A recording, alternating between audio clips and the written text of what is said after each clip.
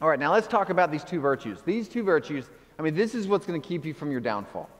Like, if, if Solomon had practiced these two virtues, his story would have gone completely different. In fact, if Bill Hybels and Ravi Zacharias and all those people that I named earlier in the message, if they would have practiced these two virtues, their narrative would have gone drastically different. I mean, the truth is, in the next five years, there are some of you in the room that you're going to have a big falling out with, with your work, with your family, with a friend. You're going to make some decision, and it's, it's not going to go well.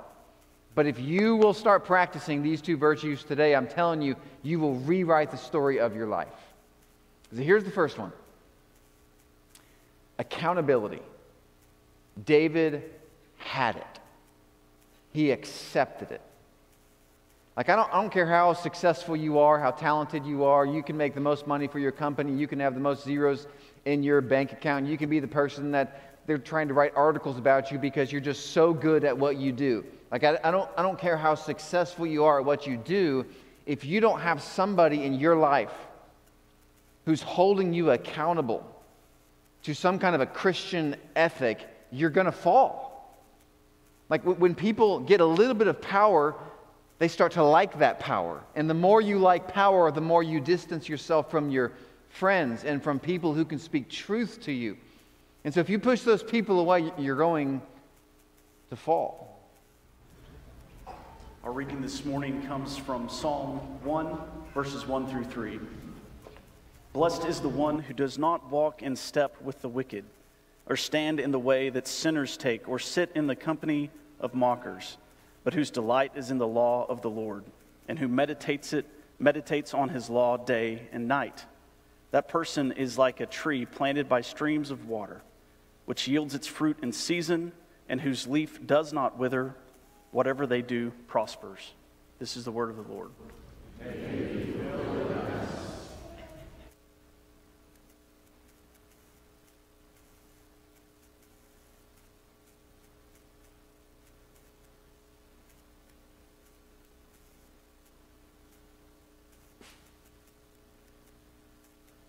I wouldn't call myself a tree enthusiast or anything, but I spent some time just this past week sitting down and talking with Neil Arter a little bit about the trees over on OC's campus. Some of you probably remember a time when there weren't many trees on that campus, maybe like two.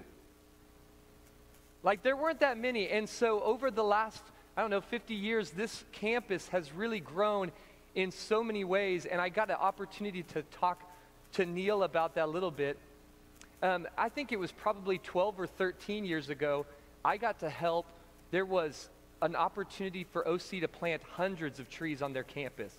And we planted some all over. And I got to plant one right outside the admissions office at OC. And I want you to know that I was working in the admissions office at that time, and every single day, I planted this tree, and every single day I went out there and I watered it with a can of Mountain Dew.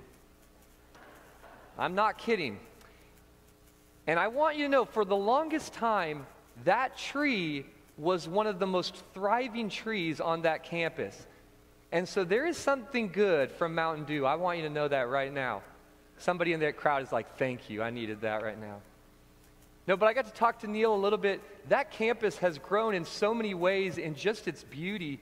Um, if you're from other parts of the world, you might think, well, that's hardly trees. Like, that's not that much. But I just want you to know some incredible things have happened over there with their trees. I know a group from Cascade College got to plant some trees there at one point. There's part of the survivor tree from Oklahoma City there, and also another part of a tree. And Neil, I'm telling you, Neil can tell you a whole lot more than I'm telling you right now. Part of a tree from where the Twin Towers were in New York City. There's just some really cool and fascinating trees there in that, on that campus. It's amazing how it's grown, and it's amazing how many different types of trees there are right here next door to us. Uh, this morning we're talking about trees. We are talking about trees, and there are some pretty impressive trees out there. And just for the sake of no reason at all, I now just want to like look at the greatest trees in film history. All right? So we're going to look at the greatest trees in film history. Just so you know, there's a lot of types of trees out there. We got the Whomping Willow in Harry Potter. We got that tree from Forrest Gump. I mean, that's all I know about it. We got the apple trees from The Wizard of Oz. Scary, but good. Of course, the Swiss Family Robinson tree house. Who could forget that one? Um, probably the most iconic in my mind, the bonsai tree in Karate Kid Part 3. Nobody knows what is happening right now in this one. And then, of course, the tree in Charlie Brown's Christmas. Who could forget that one? And last but not least, Groot in Guardians of the Galaxy. It was a tree. Trees are pretty fascinating. Once you start thinking about the different types of trees and all that there are, man, it's really cool. But also, trees are pretty significant in the story of the Bible. And if you have time, I would really encourage you to listen to the Bible Project podcast episode called Humans Are Trees. And here in this episode, they talk about so many significant moments in the Bible where humans and trees are together. At some of the major hinge points in the story of Scripture, there we find trees.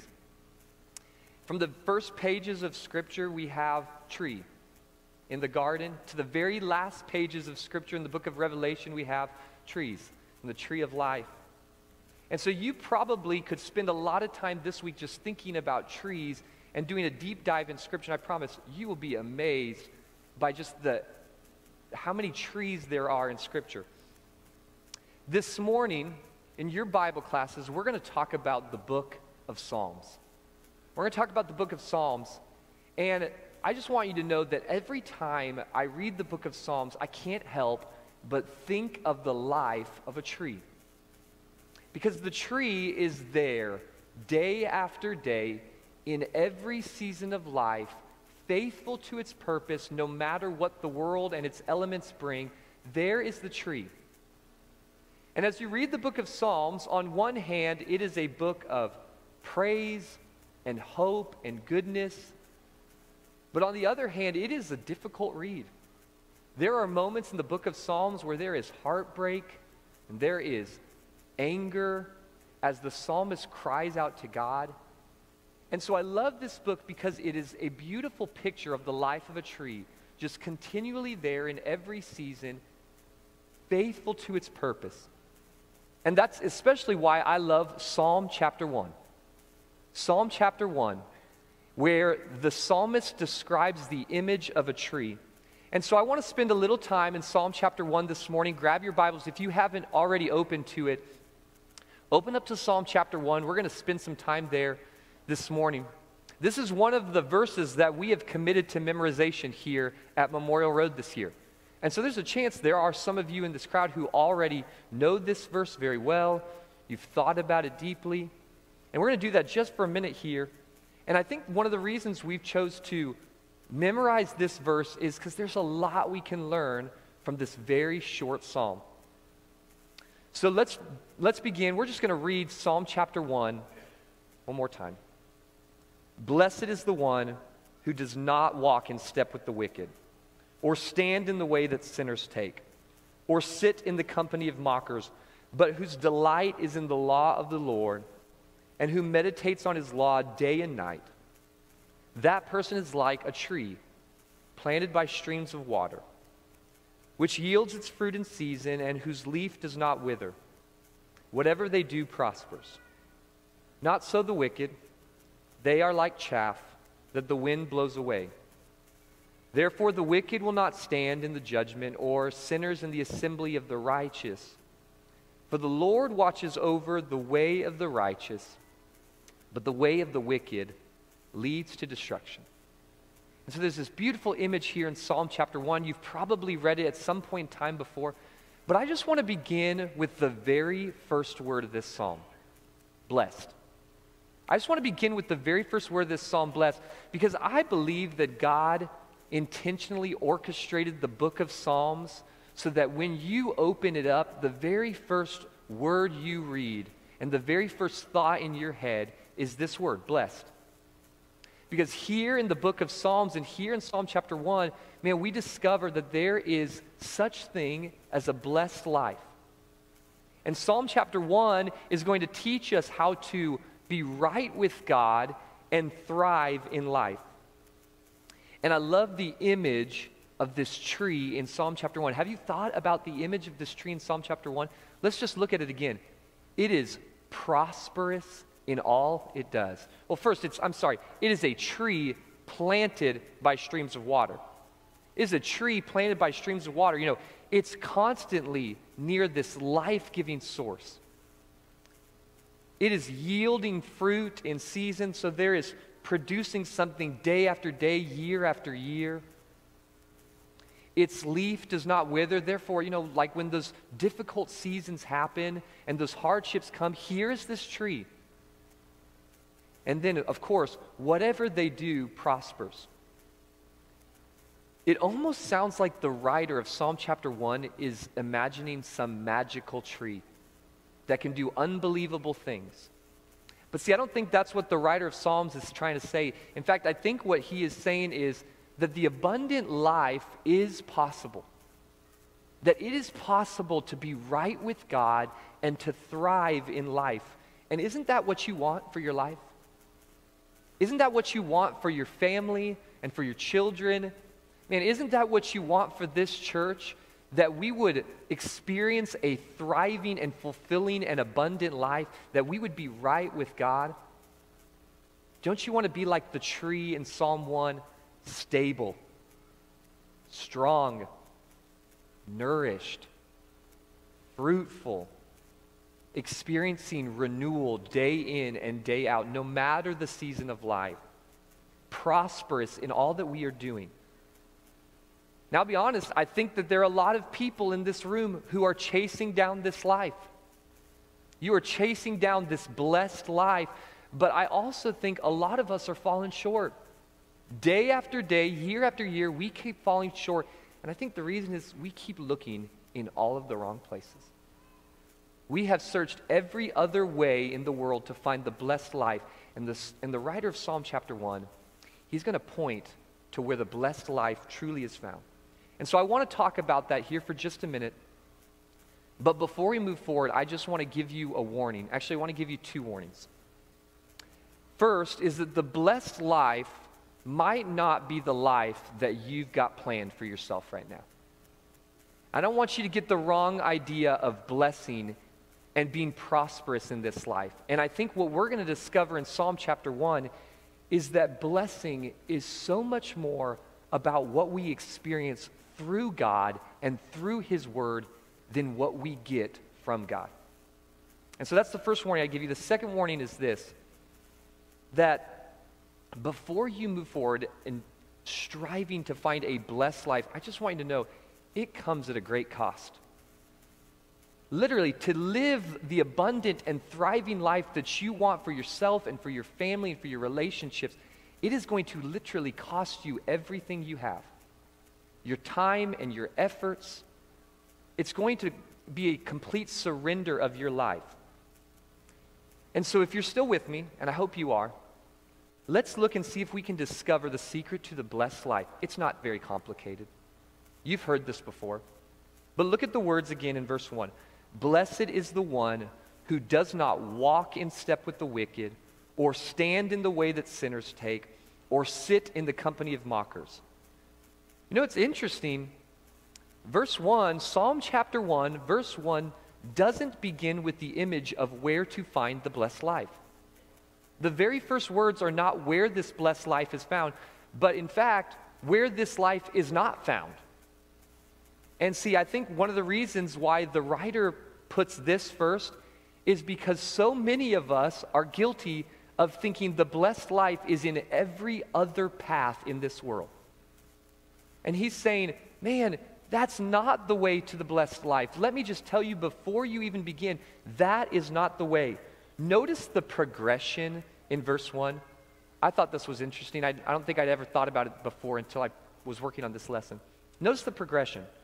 The blessed person doesn't walk in step with the wicked, he doesn't stand in the way sinners take, he doesn't sit in the seat of scoffers. And so there's this progression of walking, to standing to sitting. We've all done this before. We've done this with really harmless things. We're in the grocery store, we see that aisle of snack foods, and we're like, I'm just going to walk down the aisle. It's no big deal, it's just a way.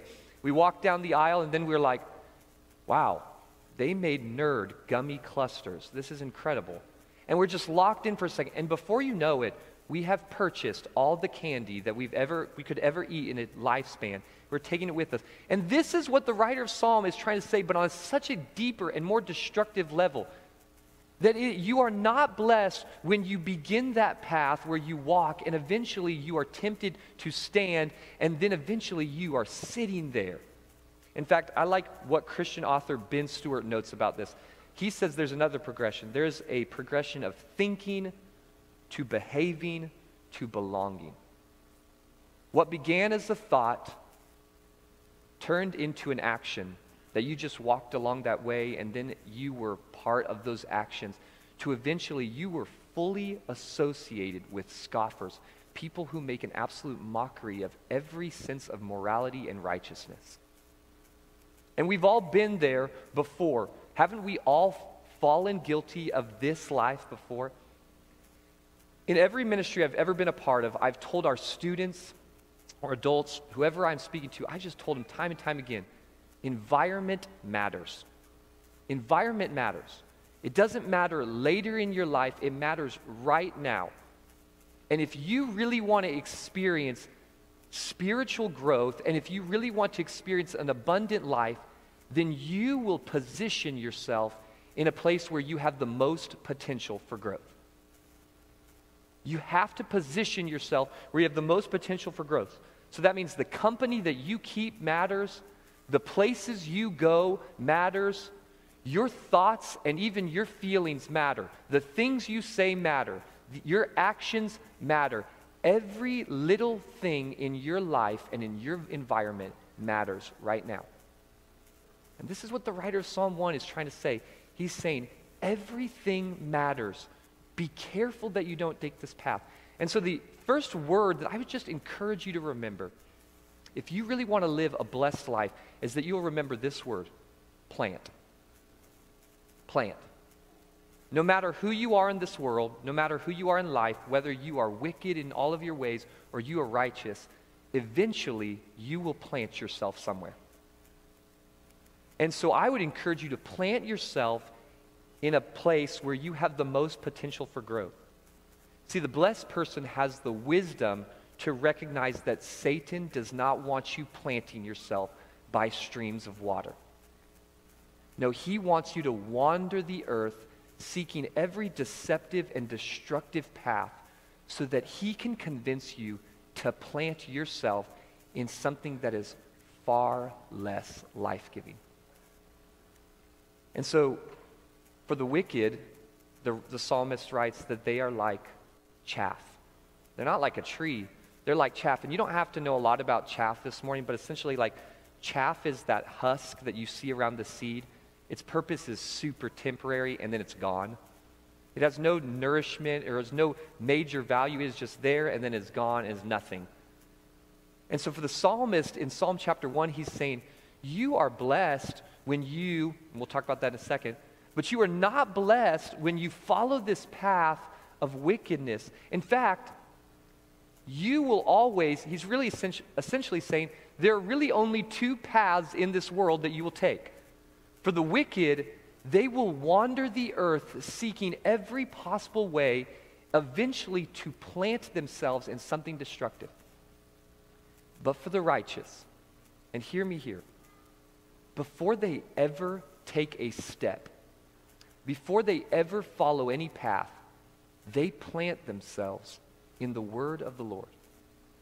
They plant themselves in the word of the Lord, and this is what verse 2 is all about. Look again at verse 2.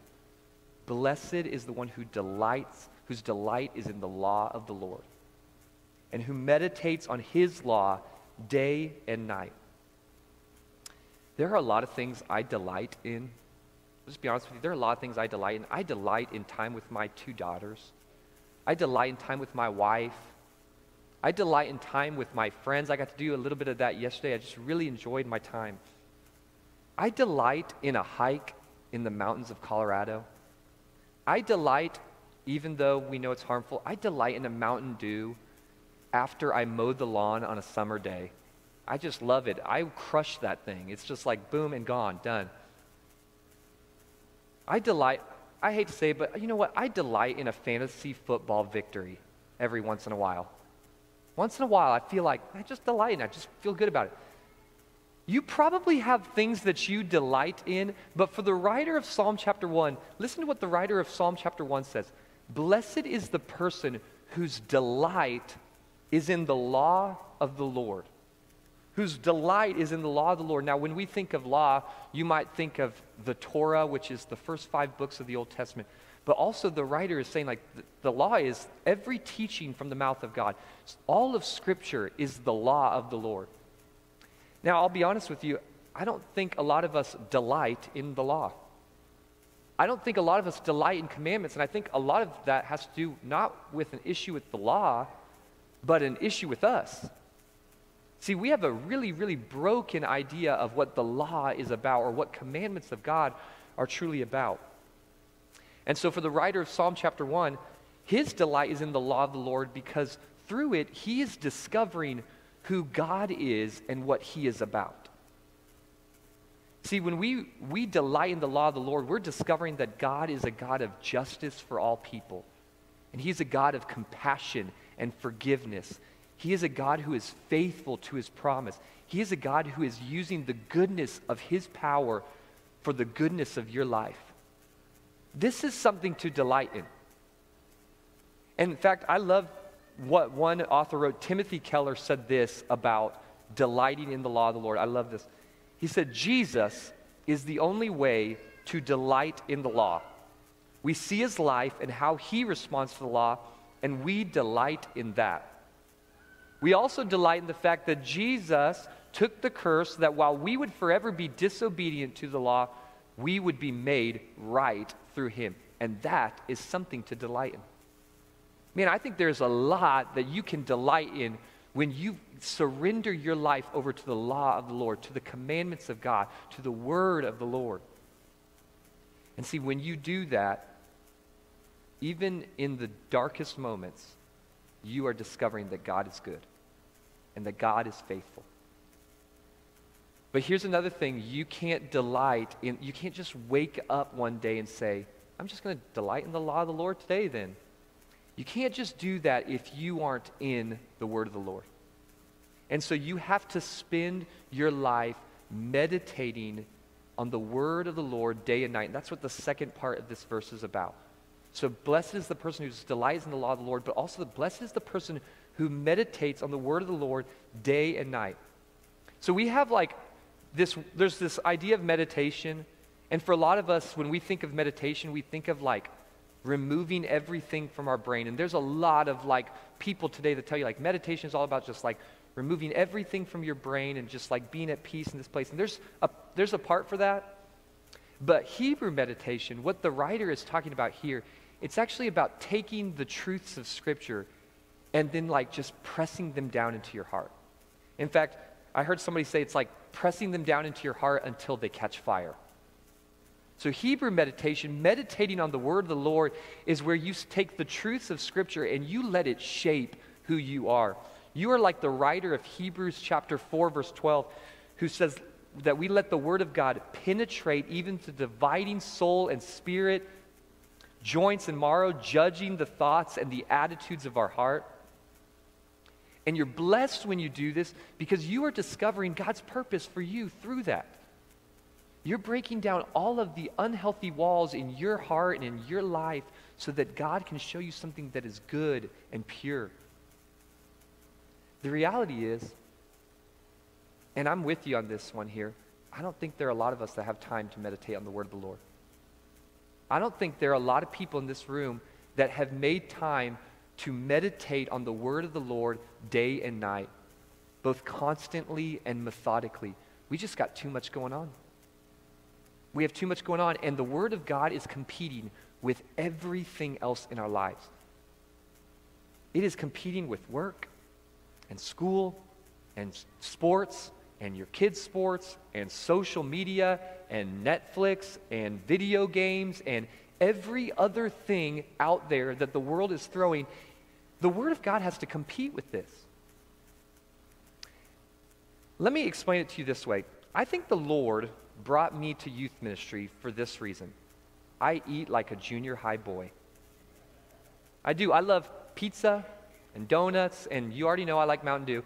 I like those things. And my wife says I'm like a child. In fact, whenever we have a really nice dinner somewhere, I am very picky. And I try not to be like a diva about it, but I'm picky. I'm like, what's that sauce that is just on this meat? We don't need that. And she's like, you are like a child. Just try it. And I'm like, I don't like to try things. And so I don't. I just eat a bland piece of chicken, and that's fine by me.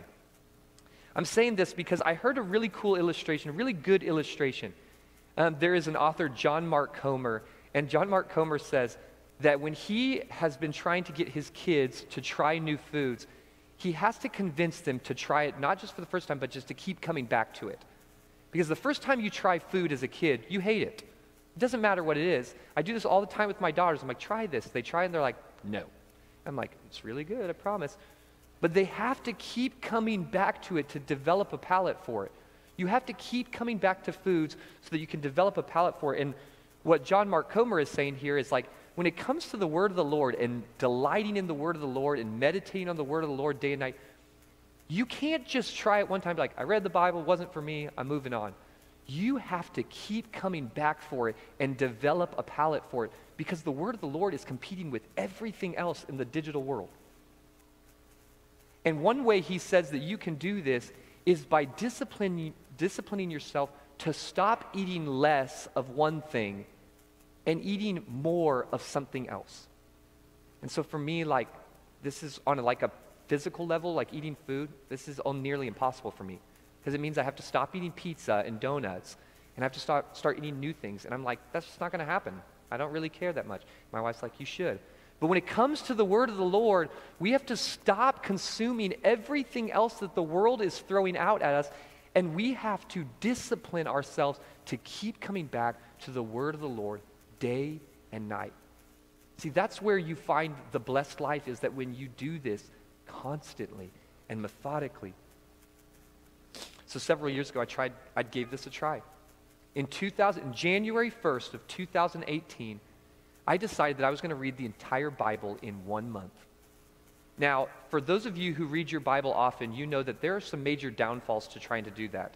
You can't really meditate on the word of the Lord when you have to read it all in a month. You are like in cruise mode. You're like, I got to get through. I was reading hours every single day so that I could read the entire Bible in a month. And it was cool on so many levels, but it does have its downfalls, and we'll talk about that here in a second.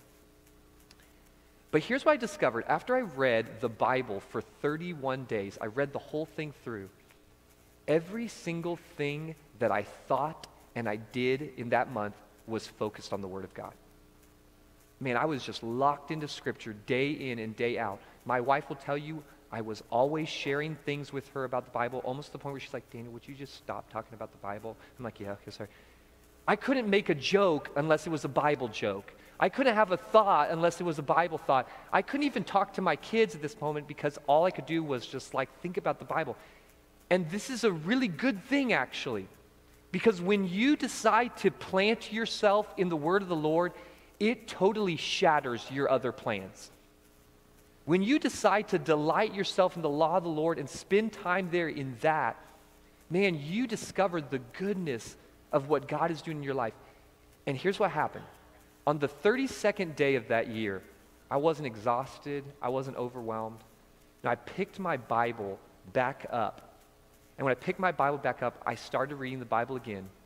This time, a lot, slow, lot slower, a little bit more methodically, because I was just excited about getting back into Scripture. See, when you do this, when you make the decision to plant yourself in the Word of the Lord, to delight in it, to meditate in it, eventually you are like the prophet Jeremiah in Jeremiah 15, 16, who wrote, Your words were found, and I ate them, and your words became to me a joy and the delight of my heart. Now, this is something good for your life. I love the image of the tree pictured in Psalm chapter 1. There's a lot of reminders in this, in this short psalm of how we can be like a tree.